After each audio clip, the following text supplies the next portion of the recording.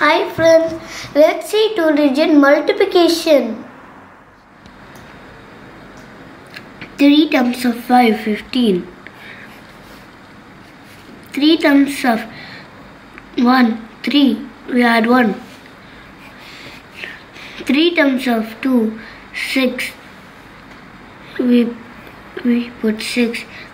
3 of 4, 12. We added 2 and remaining 1. 3 times of 3, 9. We add on 10. 3 times of 2, 6, 7 actually. 2 times of 5, 10. 2 times of 1, 2, 3. 2 times of 2, 4. 2 times of 4,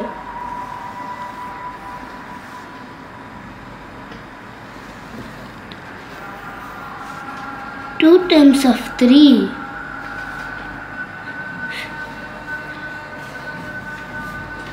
2, 2 times of 2, 4.